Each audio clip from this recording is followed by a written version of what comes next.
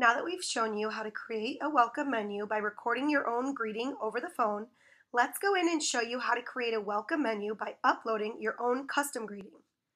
We're going to go and click on Add Welcome Menu.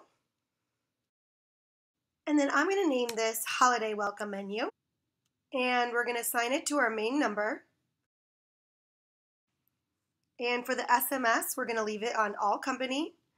And then we're going to scroll down and we're going to click on Upload Custom Greeting and then Browse Files to select our Holiday Welcome menu.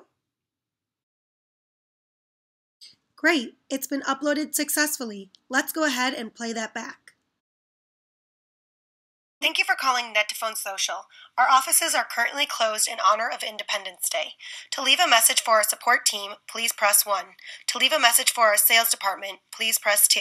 Thank you and happy 4th. We want to make sure the prompts are going to align with our uploaded custom greeting, so let's go in and select the menu options accordingly. We said to press 1 for support voicemail, and then we said to press 2 for sales voicemail.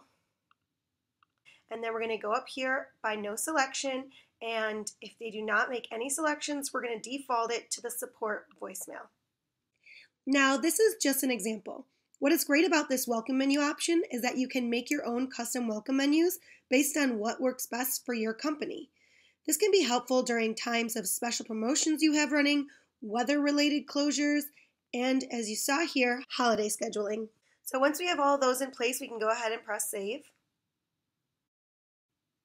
And there we go. Our welcome menu has been added successfully. Great job, everyone.